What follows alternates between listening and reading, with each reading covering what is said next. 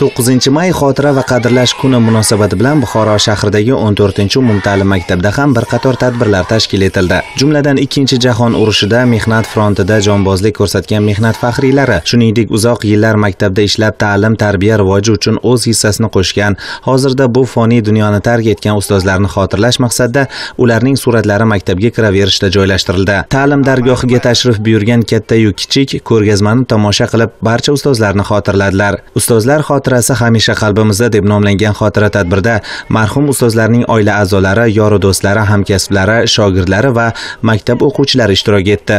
Xotira tadbirda so'z olgan maktab rahbari dilbar abdullayeva marhum ustozlarning go'zal fazilatlari ezgu niyat ila amalga oshirgan ishlarini yod oldi. Shu kuni maktab o'quvchilari tomonidan badiiy chiqishlar namoyish etilib rasmlar tanlovi o'tkazildi. Kuylangan kuy qo'shiqlar esa barchaga manzur bo'ldi.